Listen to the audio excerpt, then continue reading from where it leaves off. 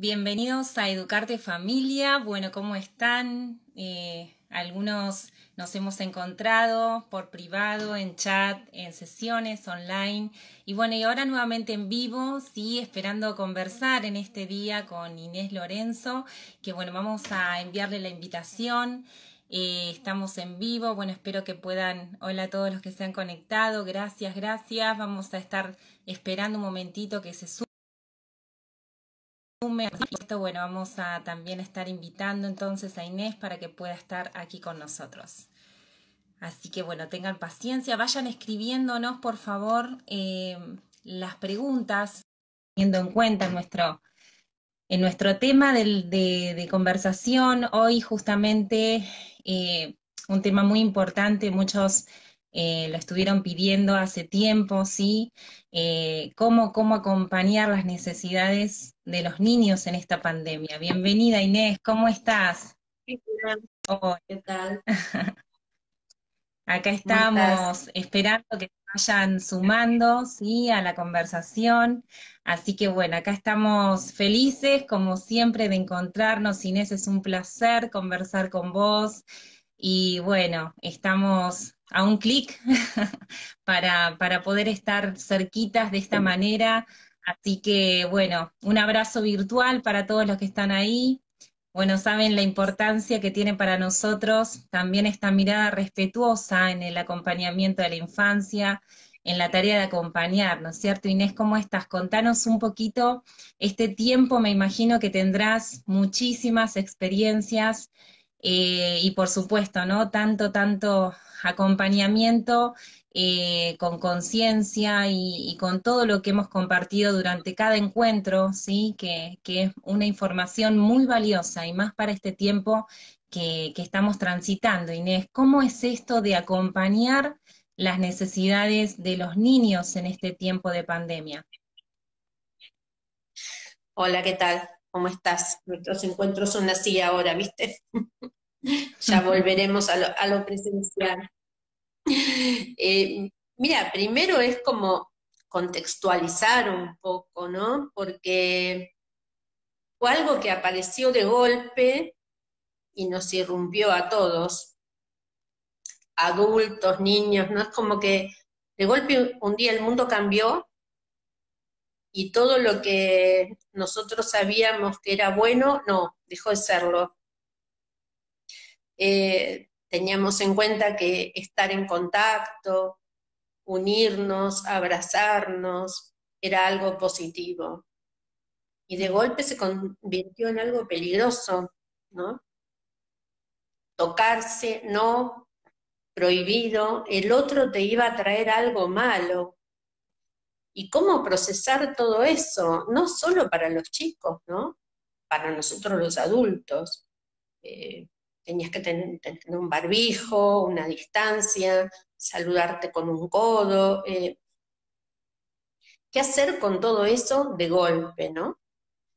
Y una urgencia que apareció que todo lo íbamos a resolver rápido, ¿no?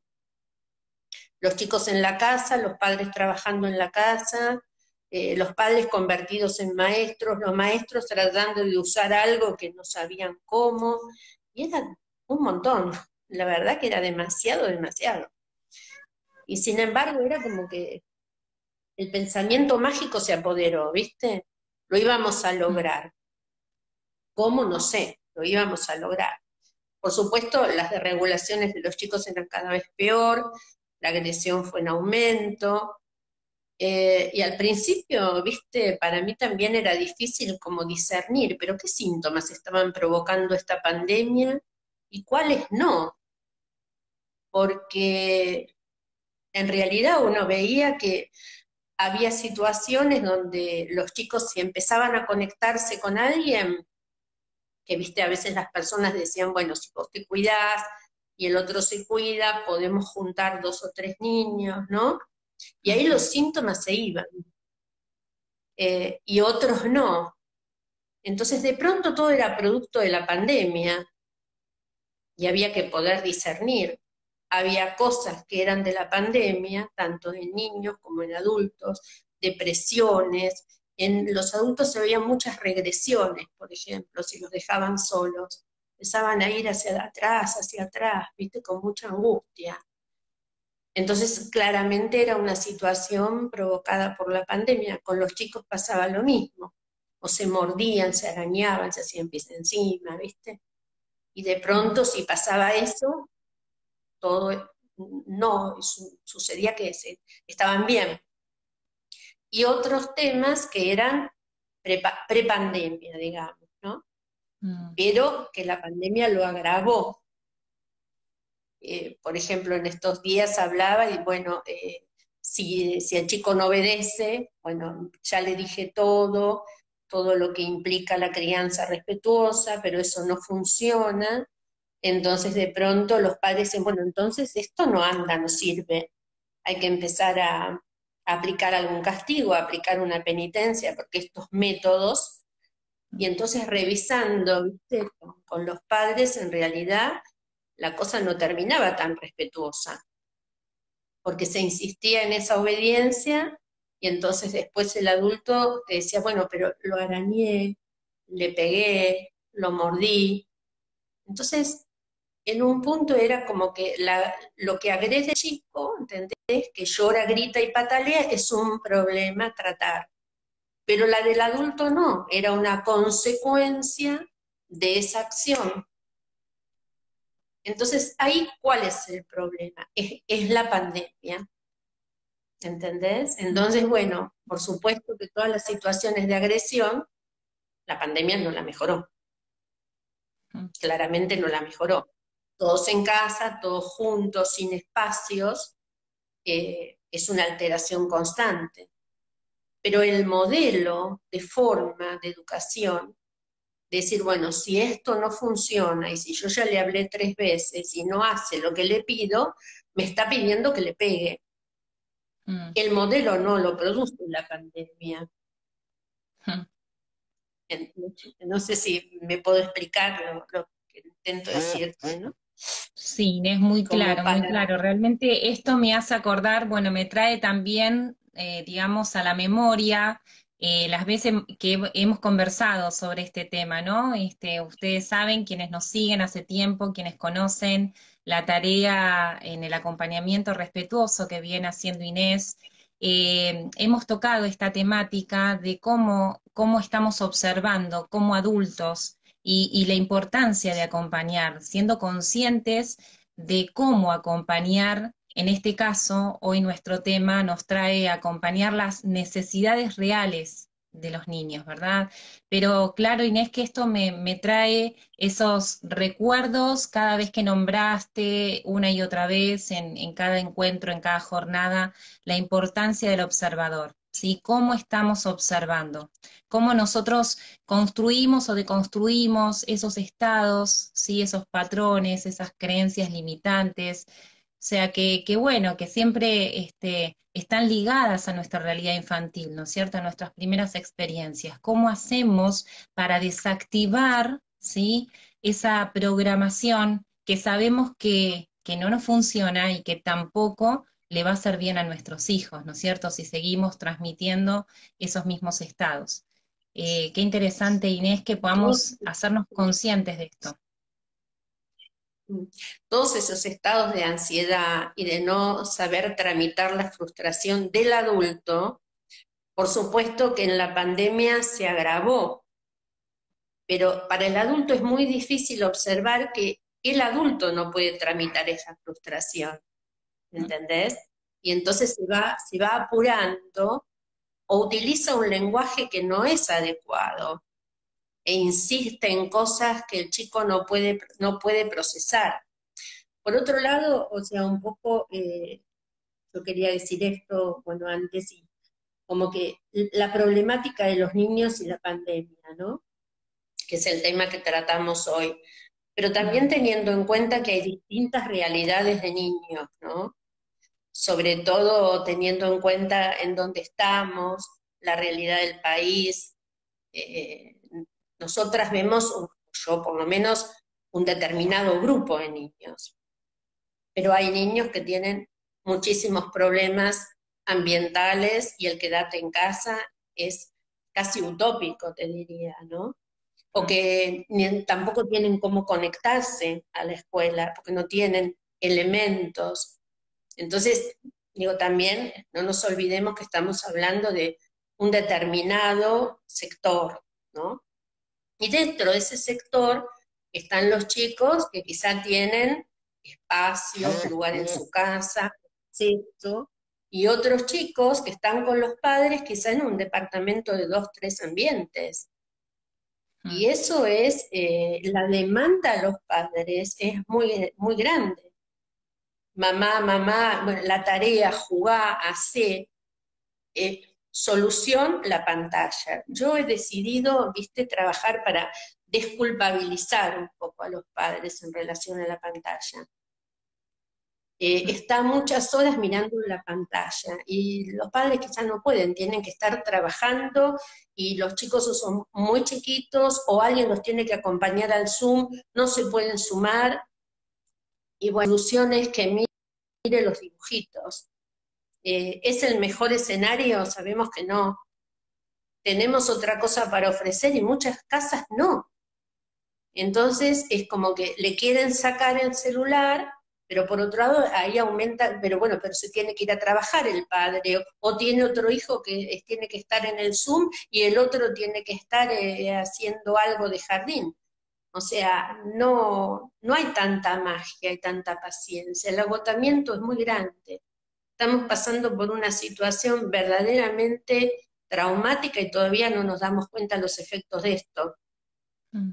Los efectos de esto es que una persona que tiene un grupo de, pocos chicos, cuando un poco se abrió y podían ir, me comentaba que no sabía qué hacer porque los nenes que habían ido dos años y medio, tres, eh, un grupito, cinco, seis eran, estaban paralizados y no jugaban. Mm. Le ofrecían cosas, la, maestra, la directora del lugar, y no hacían nada porque venían de un año de encierro.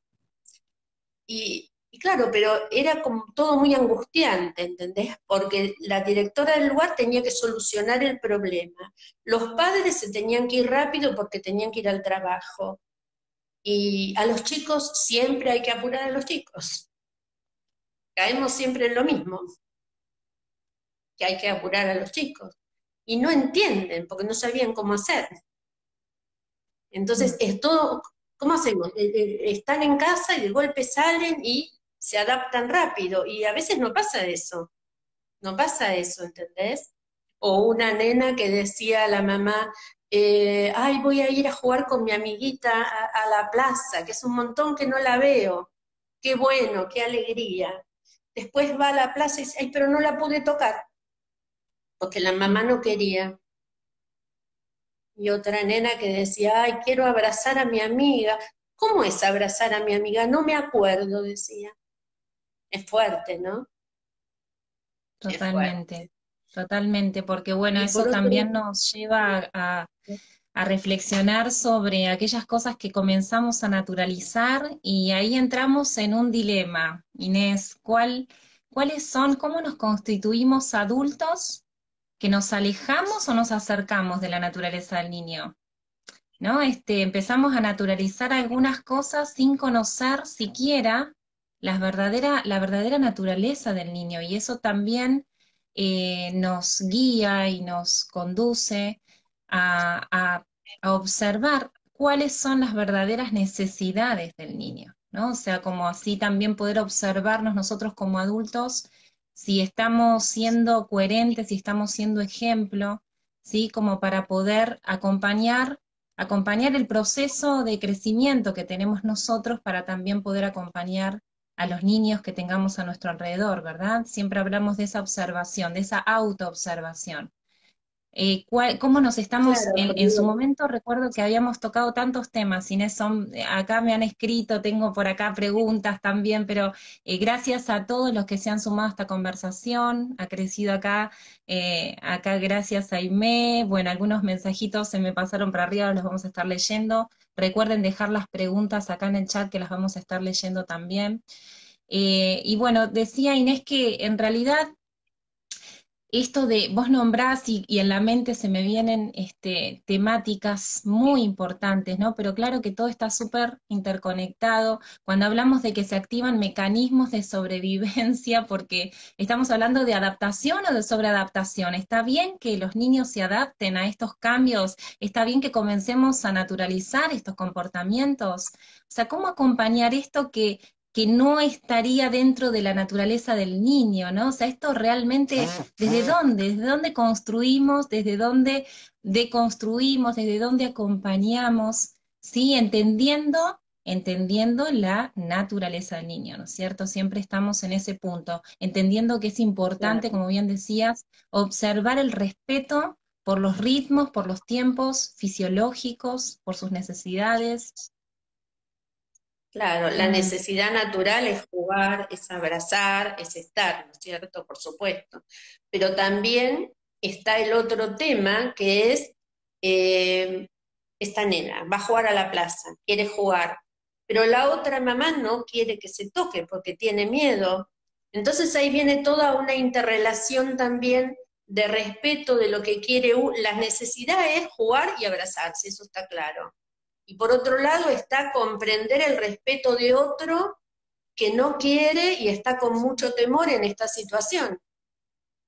Hmm. Entonces, es complicado, pero la palabra respeto también la tenemos que poner para el que no quiere ser abrazado, para el que no quiere ser tocado, para el que quiere estar con el barbijo, para el que quiere estar con distancia. Yo casi no atiendo presencial, solo muy pocas personas que vienen y habilité, o sea, en el living para tener como más espacio y distancia. Pero bueno, cada persona que viene le tengo que preguntar, eh, ¿te querés sentar ahí? ¿Querés usar el, alcohol? Eh, ¿Querés que estemos con barbijo? ¿Querés que nos saquemos el barbijo? ¿Nos saludamos con codito? ¿Cómo hacemos? Mm. Porque también está eso. Estamos pasando una situación donde cada uno lo vive diferente. Hay gente que tiene muchísimo miedo, hay gente que no, y entonces los chicos también es como que tienen que preguntarle al otro si puede, si quiere, pero las necesidades naturales ya sabemos cuáles son.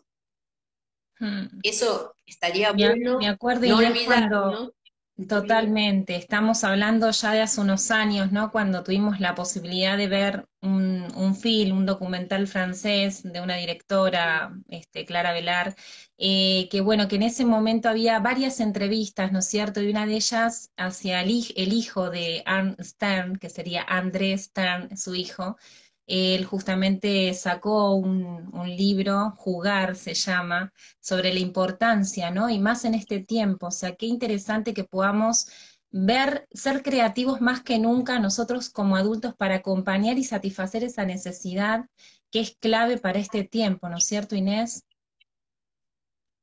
Sí, hay muchos chicos que también, viste, si lo, siempre, por supuesto, te digo, si depende el tiempo que tengan los padres o lo que estén acompañando a esos niños, ¿viste? Que hacen otras cosas, aprenden temas, eh, hacen presentaciones, eh, pintan, dibujan, conversan. Eh, eso también sucede, ¿entendés? ¿Cómo están viviendo esto? ¿O qué piensan después cuando esto no, no esté más? ¿Qué van a hacer? Entonces, este, lo llevan como mejor pero depende tanto del adulto que esté al lado, como lo pueda tramitar, porque si no suponemos que no hay angustia en los adultos, y tampoco es cierto eso. Hay gente que está muy preocupada, además por la pérdida de trabajo, por un montón de factores. Están las personas que han perdido el trabajo y las personas que están saturadas de trabajo. Y todo eso también influye en el acompañamiento. Y de pronto si vos eh, decís, bueno, por ejemplo, está bueno que no estén con eh, tanto tiempo de pantalla, pero ¿hay algún adulto que le pueda ofrecer pintar, dibujar, charlar, hacer cosas diferentes? Bueno, si está, uno va dando las herramientas de acuerdo a eso. A veces no está esa posibilidad. Algunos tienen una plaza cerca y pueden ir, otros no. O sea, como que hay que ir viendo que pero la desregulación sí es muy grande y del adulto también. porque después, si me equivoco y lo llevé a mi hijo allá y trae un contagio y yo visito a mi mamá y contagio y mato a alguien, porque todo es una rueda que va en aumento, ¿entendés? Entonces, hay un sustrato de miedo que es muy fuerte, que es muy fuerte. Quizás ahí, están a la vista todo el tiempo. ¿Cómo gestionamos las emociones? ¿Cómo gestiona el adulto las emociones para acompañar al niño? Bueno, por eso, ¿hasta dónde ese adulto tiene miedo? ¿Hasta mm. dónde ese adulto tiene tiempo? ¿Hasta dónde ese adulto también está entendiendo que toda la intolerancia, la frustración que tiene con lo que le sucede al niño en ese momento no es por la pandemia, sino que ya viene de antes. ¿Entendés? Como te decía, bueno, hay situaciones que pueden ser de la pandemia, ¿qué hago con el Zoom? ¿Qué otra tarea le puedo dar? ¿Qué otro recurso para que pueda pintar, dibujar, leer, escribir, etcétera? ¿En qué taller lo puedo anotar? Pero que también es por Zoom si quiere aprender cine o, inglés o esto, pero que también es por Zoom. A algunos les encanta, están chochos. Así que buenísimo. Es como ir administrando de acuerdo a las herramientas que tenga cada familia y lo que el chico pueda hacer. Porque si no, es una exigencia, la exigencia se transforma en otra ansiedad y ahí tenemos otro problema. Entonces, yo creo que es muy importante el manejo de la ansiedad en este momento. Porque es ansiedad porque llegue la vacuna, ansiedad porque salgan a jugar, ansiedad por terminar el Zoom, ansiedad frente a la muerte. Mm. Entonces, un montón. Tremendo. el gran tema de hoy día creo que es para el adulto el manejo de la ansiedad, para después poder tramitar en cada casa aquello que sea posible, con los elementos que tengan, con, la disponibilidad de tiempo que tengan. Yo siempre pregunto, ¿quién está cerca? ¿Quién puede ayudar? Eh, ¿Cuántas personas hay en esa burbuja? ¿Hay un padre, madre, hay un abuelo, hay un primo, eh, alguien? ¿Qué hay? A veces hay y a veces no hay nada.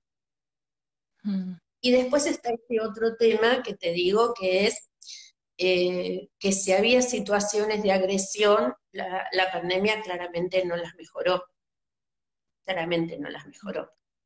Pero es eh, poder darse cuenta del problema que tenía y tiene el adulto antes de la pandemia, que es el famoso tema de los límites que hablamos muchas veces, ¿no? Y que entonces es, no me hace caso, estoy cansada, estoy agotada, ahora estoy más agotada, ahora estoy más cansada, porque duermo poco, trabajo mucho, entonces grito, pego, muerdo, porque estoy peor. O sea, ya estaba mal antes, pero si un chico iba al colegio, a este lugar y otro, bueno, estaba más disminuido todo eso. No el modelo, el modelo estaba igual. Porque eso también es importante, ¿sabes? Porque la persona que no tiene ese modelo en la cabeza y está como ya más en un trabajo de más tiempo, por más que esté en pandemia, eh, no, no ejerce una acción agresiva, ¿entendés? No, lo hace. Lo que hace es recursos, ver de qué manera, cómo puede ayudar, reconoce el adulto su frustración, reconoce su cansancio, reconoce su enojo, pero no va a agredir al chico, o pegándole, o poniéndole en penitencia, porque ya no tiene ese modelo educativo en su cabeza. Mm. Eso también se ve. El que ya tiene otra idea mm. no lo hace, por más que, por más que sea pandemia, ¿no? Eso, eso también se ve. Sí.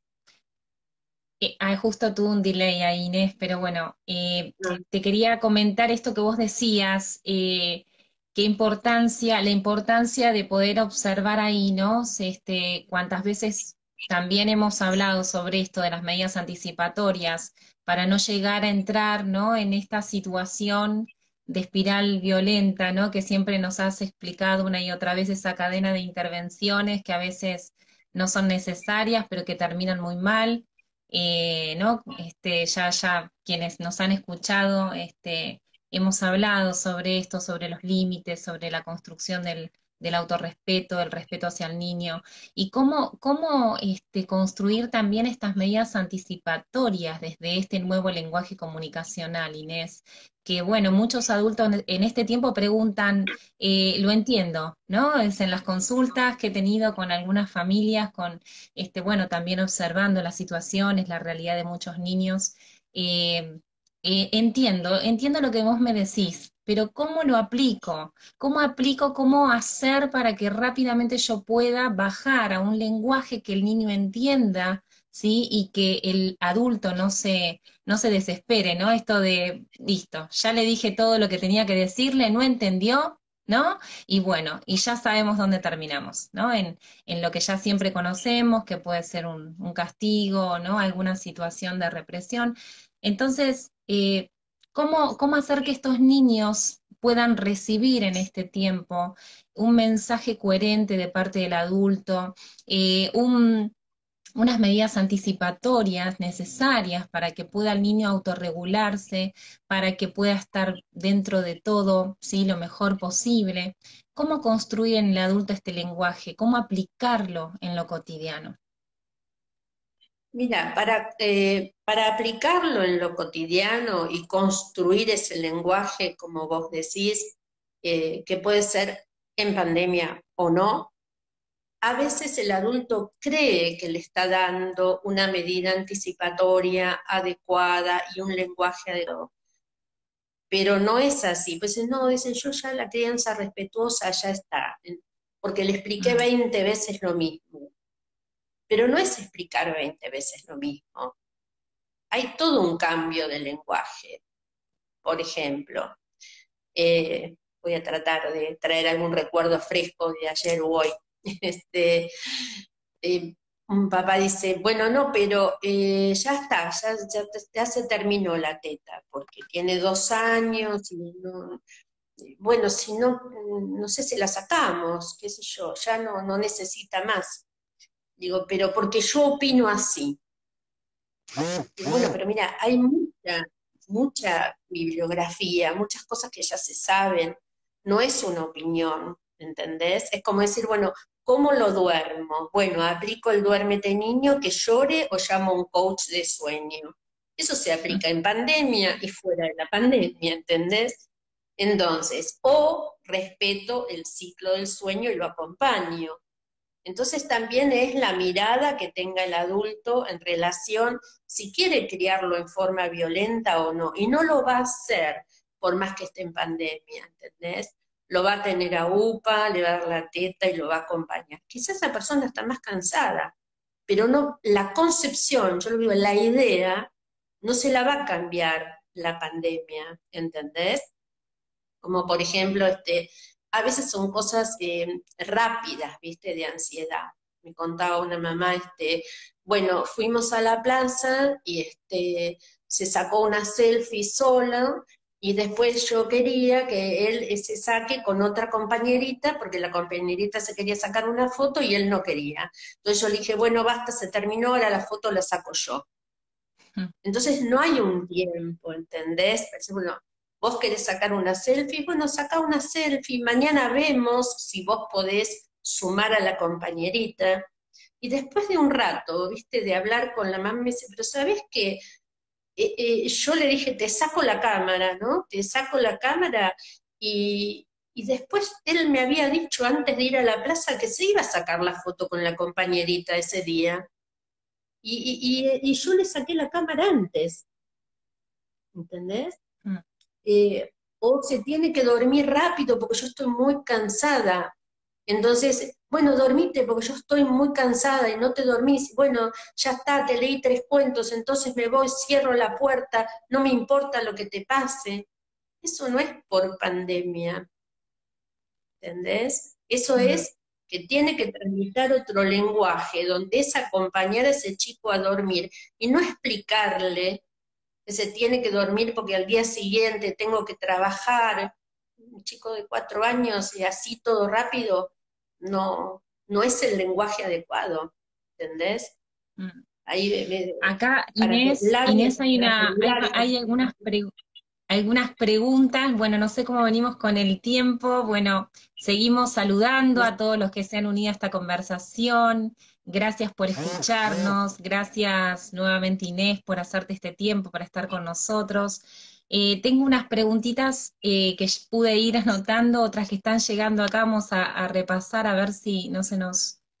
Eh, bueno, acá la última que nos hicieron fue hablando sobre esto que de la tecnología, ¿no? Y también relacionado a, a la ansiedad, ¿no? Cómo, cómo gestionar las emociones, porque me imagino que, que quienes tienen este tema de, de, los dispositivos electrónicos con los niños permanentemente también debe ser un gran desafío poder eh, sacarles los, los aparatos en determinados momentos, ¿no? Poder establecer rutinas. Entonces, esta mamá pregunta, ¿un ejemplo para que larguen las pantallas? Claro, el tema, por eso te decía antes, yo eh, trato de no culpabilizar a los padres si tienen que usar las pantallas. Porque para que no usen las pantallas, tenés que tener otra oferta para dar. Si hay otra oferta para dar y hay adulto disponible para eso, bueno, de todas maneras, este es otro tema, ¿no? Más allá, fuera de la pandemia tenés más posibilidades salida, deporte, etcétera. En casa tenés que tener juegos, pintura, conversación, etcétera. Pero si no se puede, si no se puede, ¿entendés? Bueno, que usen la pantalla, entre una pantalla o sacarle la pantalla en forma violenta, que a veces son verdaderas batallas y guerras que terminan en, en golpes. Entonces, bueno, busco que no quiero que use pantalla y para que no la use, bueno, entonces te terminé pegando, le grito, entonces eh, no es tan beneficioso. Termina siendo más beneficioso que se quede con la pantalla, ¿entendés? Mm. Tenés que tener otra oferta, otra posibilidad. Y también mm. la pantalla no es un elemento neutro, ¿entendés? También es qué mira la pantalla en la pantalla pueden parecer cosas este, horribles o pueden eh, aparecer, este, no, leo bien ahí. Dice, eh, para mí lo de las pantallas a nosotros no nos funciona. A ver si leí bien. Eh, mm, no alcanzo a leer bien, dice, a ver, no sé si alcanzas a ver a leer bien a Inés. Ellos buscan hacer otra cosa porque saben que luego sí pueden, pero es como que no termina de escribirse. Capaz lo puede escribir de nuevo la persona que lo está escribiendo. Que Ay, sí, por favor, así lo podemos leer. Eh, sí, lo tengo muy clarito, muy borradito acá. Ahora voy a ver si lo puedo leer bien. A tal hora sí se puede, en otro horario no. Ah, y si tienen juguetes, ¿cómo establecer horarios? Establecer horarios para usar las pantallas y otros horarios donde no usar las pantallas y ahí es los, los juegos, una organización de tiempos con las pantallas. De nuevo, si el adulto lo puede hacer, por supuesto. Ahí, Ahí está otra vez lo que decíamos hace un ratito, ¿no? También esto de, eh, nombramos medidas anticipatorias porque sabemos que está, eh, digamos, eh, relacionado a esto que se menciona, que uno puede, el adulto tiene esos recursos internos y facilita, prepara los espacios, facilita los recursos, ¿sí? Para que el niño pueda autorregularse, ¿no es cierto? Siempre hablamos de las necesidades fisiológicas y sabemos que si nosotros habilitamos esos espacios para el juego, ¿sí? con lo importante que es hoy en día, sí que puede desarrollar su imaginación y que puede estar conectados a pensamientos de creatividad, ¿no es cierto? Que sabemos que eso es lo que el niño está necesitando. Entonces, bueno, a veces se habilitan esos espacios, hay adultos que se ocupan, ¿sí? De de gestionar esos recursos, de eh, construir previamente ¿sí? Eh, rutinas, eh, algunos son más flexibles, pero claro que generan ¿no? esta autonomía en el niño, permiten también desarrollar la creatividad, ofreciéndoles distintas actividades, también tienen en cuenta esto del movimiento libre que siempre hablamos, Inés, ¿no es cierto?, la importancia de que tengan un espacio para moverse, sea dentro, sea fuera, pero siempre el movimiento y por supuesto una de las necesidades vitales que siempre lo hablamos en las jornadas de desarrollo, que tiene que ver con el oxígeno en el cerebro, no solamente que pueda moverse en libertad, sino que pueda contar con un espacio donde el cerebro se pueda oxigenar, ¿sí? A veces hay muchas familias que dicen, bueno, no estamos pudiendo salir. Hay que ser creativos, no tengo patio, no tengo parque, damos una vuelta al perro, hacemos ¿no? este, lo necesario en el espacio que tengamos, pero siempre busquemos un poco de oxígeno. Sí, claro que sí. Hay muchas necesidades más, ¿no? Este, sí, a veces este, salir o ir a andar en bicicleta, por ejemplo, eh, eso también funciona. Vos sabés mm. que hay chicos que les ha a los padres, por ejemplo, porque se habían acostumbrado a estar adentro y no querían salir, por ejemplo, no querían mm. salir ni a dar una vuelta. Chicos chicos y adolescentes también. Los adolescentes que están encerrados en el cuarto es todo un tema. Es todo un tema. Porque se mm. han instalado ahí con la computadora, con los amigos en el chat, dicen, acá estoy muy bien, y los que tienen temores con los demás de relación, está muy difícil que puedan salir del cuarto. No quieren. Dicen, quiero esta vida, acá yo estoy bien, cómo hablo con mis amigos, estudio, leo, y yo tengo un grupo que no quieren salir. Es, es un tema complicado en adolescentes. Y en chicos también ha pasado que los padres los han tenido que incentivar a salir. No, no quiero ir a la plaza, no quiero ir al parque, no. Bueno, pero después el adulto llevándolo o andar en bicicleta, ahí es como que, viste, eh, eh, retomaron. Pero este tema del encierro y ese acostumbramiento al encierro y al no oxígeno, bueno, es todo un tema también, porque después me acostumbro a eso y bueno, mejor no salgo, mejor. Pero bueno, de nuevo, si hay un adulto que puede ir gestionándolo, los chicos van ahí, van. Entonces retoman el aire libre, una salida, una plaza, un juego, ¿no? Claro, por eso bien es lo que vos decís siempre, Inés, que observamos siempre, nos observamos nosotros como adultos, cómo estamos gestionando nuestras emociones, cómo estamos eh, cubriendo nuestras necesidades, cómo estamos construyendo lo necesario para estar bien, porque ellos en realidad son eh, nosotros educamos con el ejemplo, ¿verdad, Inés? Siempre repetimos eso, que de acuerdo a que si nosotros vamos en búsqueda de esos recursos, de esas herramientas para poder eh, eh, crecer con esta conciencia, desarrollarnos, por supuesto que vamos a tener la facilidad de proveerles también a ellos, ¿sí? Y también, más allá de que ellos lo estén viendo, que estén observando eso en nosotros, que ellos puedan contar con nuestro acompañamiento, ¿verdad? Eso que vos decías, cómo gestionamos con esta conciencia lo necesario para acompañar. Y también hay adultos que no quieren salir, que no quieren salir. Yo tengo adultos que están encerrados en departamentos sin ayuda, con situaciones muy graves, los adultos, y no quieren salir, porque tienen miedo de salir. Los niveles de violencia ahí no te los puedo ni explicar que ya cuadros que venían mal están peor, no quieren salir, algunos no quieren ni ayuda, los chicos están detonados, departamentos, dos, tres ambientes, dos, tres chicos, los padres trabajando, no quieren salir hasta que no estén vacunados, ni a la plaza, chicos cuatro, cinco, seis años. Eh, yo no tengo más herramientas. Digo, esto no puede, no, hay ninguna posibilidad para que esto salga bien. Lo que estamos tratando es que no esté peor, que la semana que viene no esté peor, pero no puede salir nada bien de eso.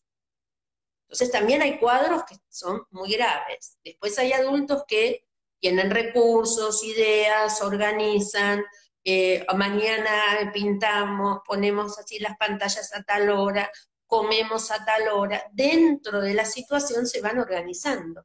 Por eso digo, depende mucho de cómo esté el adulto. Claro.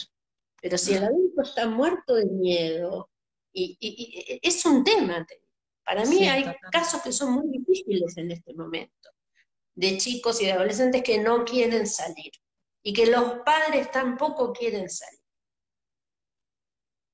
Y los Qué tremendo, Inés. No es, un, mes, dos meses. Estamos mm. en más de un año y vamos a ir para un año y medio. Mm.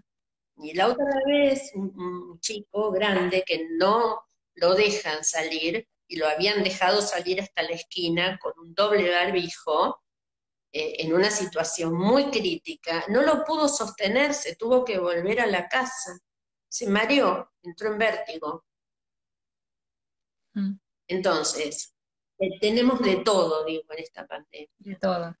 Entonces, creo que también es una oportunidad para ver qué nos pasa con el miedo, qué nos pasa con el miedo a la muerte, qué nos pasa con el apego, qué nos pasa con que el otro se transformó en un enemigo, cómo nos vamos a cuidar entre nosotros, cómo vamos a cuidar el planeta, sacaremos algo positivo, algún aprendizaje de todo esto, de cómo nos vamos a relacionar con el otro, ¿no? Porque una cosa es cuidarse de una situación que está sucediendo, pero que ya el otro se transforme en tu enemigo, que te va a matar, es tener en la cabeza algo muy complicado que no sé cómo lo vamos a mejorar.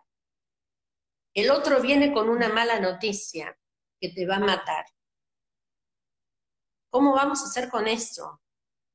¿Entendés? Mm. Después se va a ir, supuestamente. No sé, yo todo eso no sé si cómo va a pasar, cómo se va a tramitar, ¿entendés? ¿Qué, qué, sustrato queda de, miedo, de angustia, de vínculo con todo esto? No, no lo podemos saber ahora, mm. pero creo que vamos a tener que estar preparados para escucharlo, porque pasan cosas de, eh, a mí me ha pasado con pacientes estar en la fila del supermercado y toser y, la persona que, está ahí al lado se irse, mm. irse directamente. U otra persona que estaba haciendo una fila y la otra le dijo, no tenés distancia conmigo, no te me pegues, correte, ¿qué te crees que sos? O sea, escenas de situaciones muy complejas donde el otro es un peligro. Entonces. ¿cómo tramita después el adulto con un chico transmitiendo que el otro se convirtió en un ser peligroso.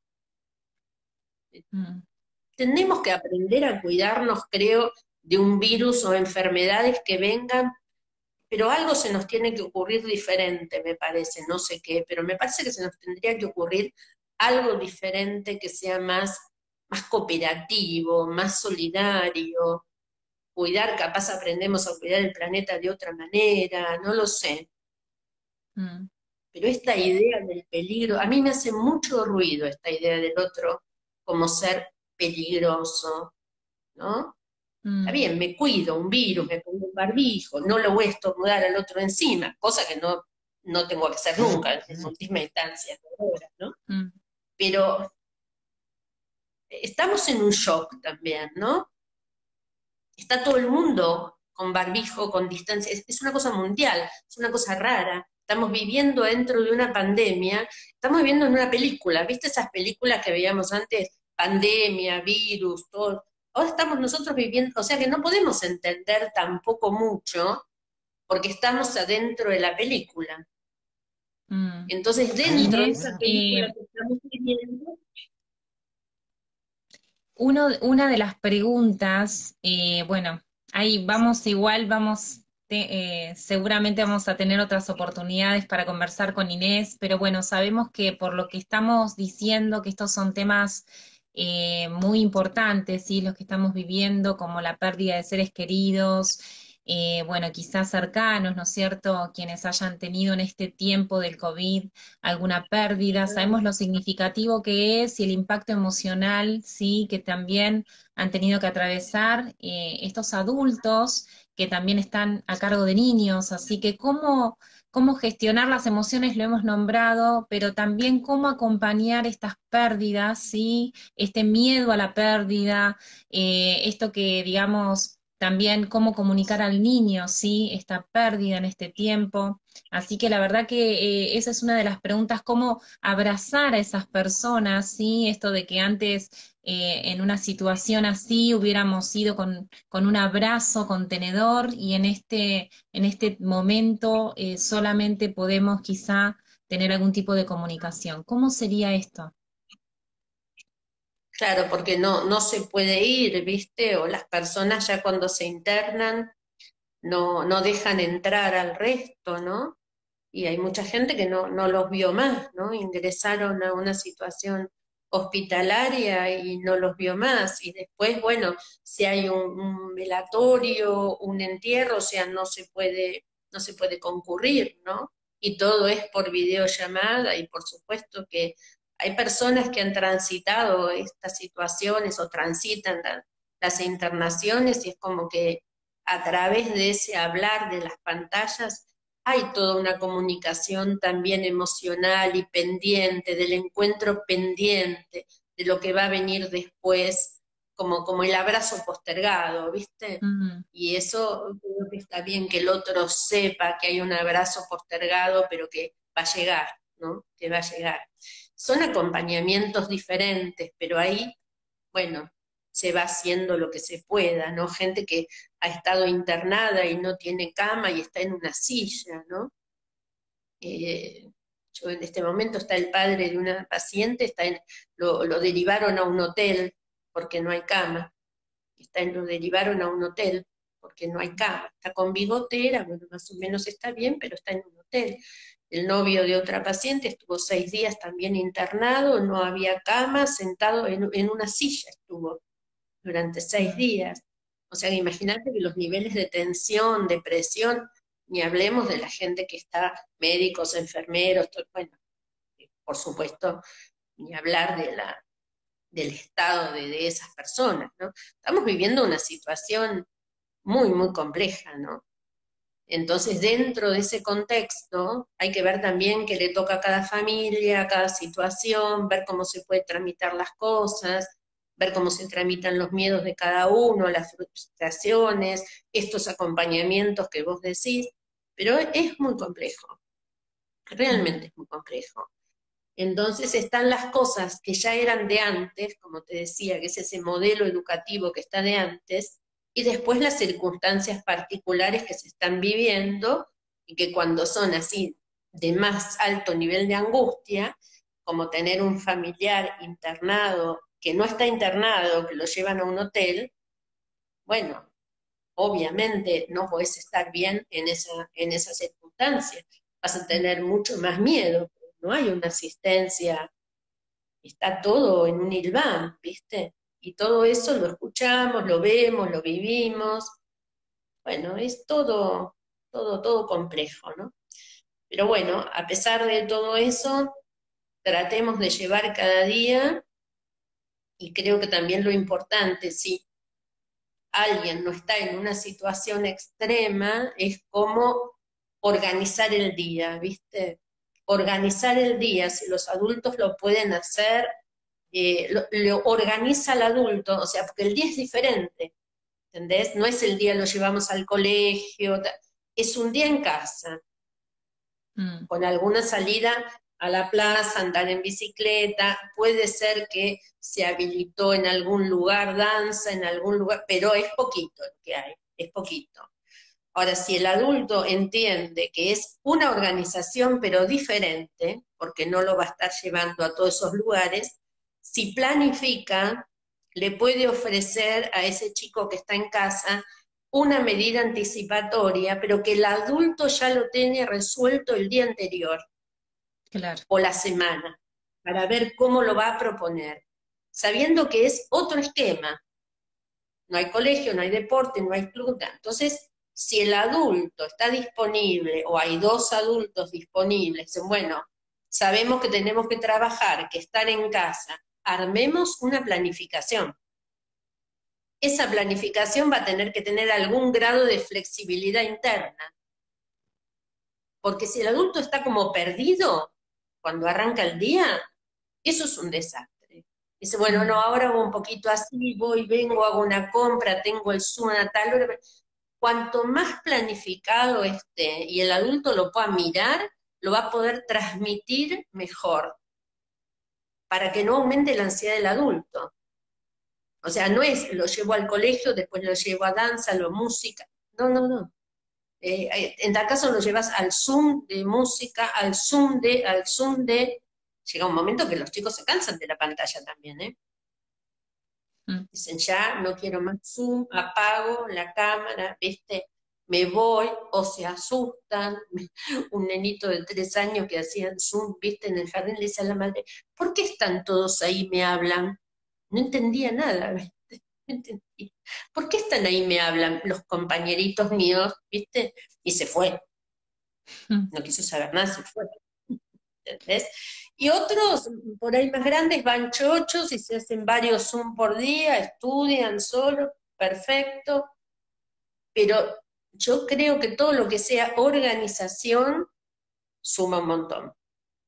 Hmm. Suma un montón esa este previa, esa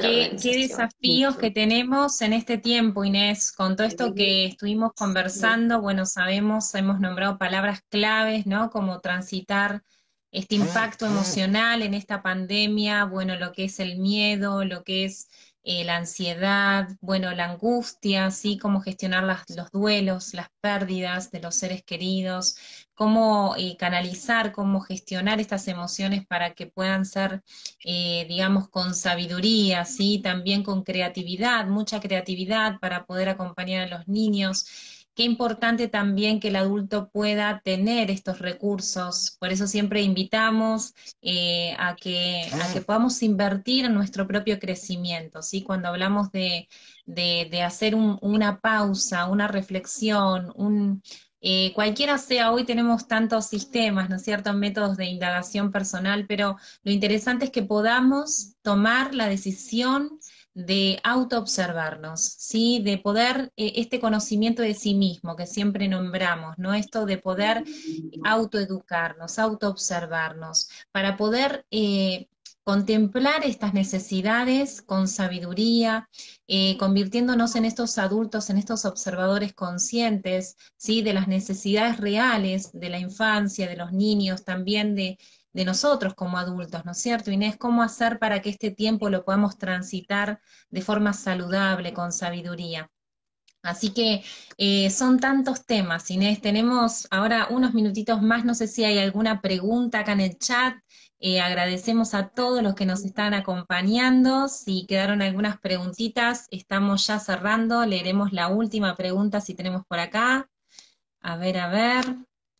Eh, Organización clave, sí, sí, claro que sí. Gracias, Melina, por estar. Eh, un placer que estés acá con nosotros, un privilegio como siempre.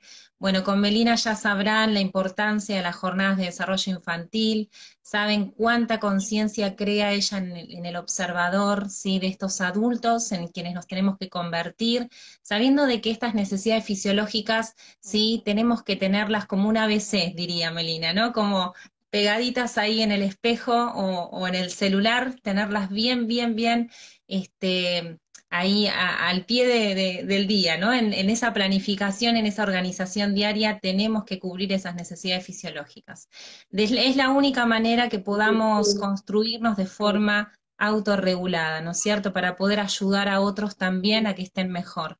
Acá nos dicen... Creo que, creo que más que nunca, viste, es eh, la observación y el cambio del adulto para poder acompañar a los niños, ¿no? Más que nunca es poder ver y observarnos que estamos muchas veces con conductas que son agresivas hacia los chicos y negamos eso. Y entonces viene la consulta por la agresión del niño, ¿no? El niño grita, llora, patalea, pega, pero resulta que pegás un poquito la vuelta y el adulto lo está haciendo y no se da cuenta. Lo vive como que no pudo, Entonces yo siempre digo, no, no, no, la idea no es buscar un culpable, o el chico o el adulto, pero el que le va a mostrar es el adulto. Pero le cuesta mucho al adulto observarse agresivo. En general la consulta es por cómo agrede el chico, le pegó al compañero, pero cuando vos pasás un rato y dices, bueno, yo le pegué porque me desbordé, o lo mordí, o lo arañé, o... pero eso no llega, cuesta mucho. Enseguida la observación del chico sí, pero la del adulto cuesta un montón. Pero creo que sí, tenemos que seguir con esta oportunidad y todo lo que se ve ahora como en pantalla gigante por el encierro y por la pandemia puede ser también una oportunidad de esa observación. Cómo actuamos, cómo les hablamos, qué decimos, como se ve todo en, grande, pero, viste, de, de, parte del adulto, ¿no? Sí, le grité, le pegué, porque, porque, porque, porque, y entonces es como, eh, me contaba el otro día una mamá que el marido le decía, esta crianza respetuosa tuya no sirve. Y digo, pero no, no es respetuosa, le, digo, le pegaron, otro lo mordió, le digo, pero no, hay algo que no, no está sucediendo. Tenemos que revisar otra vez. Por eso digo, puede ser una buena oportunidad para el adulto para volver a comprender una herramienta de comunicación donde está siendo violento y no se da cuenta. ¿Por qué? Por la insistencia, por la exigencia, por la búsqueda de la obediencia obsesivamente. Y la, obediencia no es acompañar el crecimiento. Si buscas la obediencia, no es acompañar el crecimiento. Y a partir de ahí, a partir de querer buscar la obediencia, después viene toda una catarata de circunstancias muy complejas. Pero bueno, los temas son largos. Bueno, gracias Judith, estamos en hora.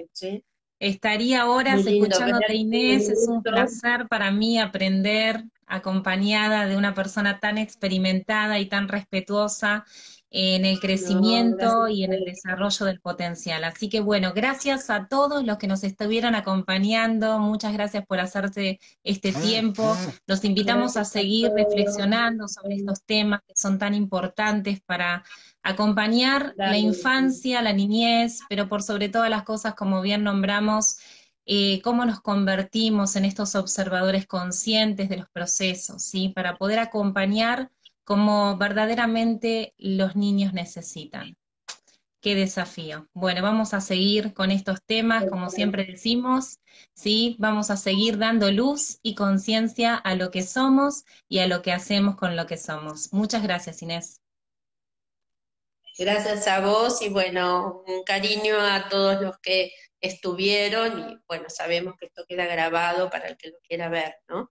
Bueno, un cariño para todos, ¿eh? Hasta luego, Judith. Vamos a ofrecer también para quienes realmente estén comprometidos, ¿sí? Con todo esto que hemos profundizado, una guía de la observación, una guía de, de acompañamiento, ¿sí? Con algunos tips importantes para que puedan poner en práctica en este tiempo de pandemia, ¿sí? Así que, bueno, escriban por privado que les estaremos facilitando el recurso. Muchas gracias a todos por confiar. Gracias Inés. Nos estamos viendo pronto. Te abrazo.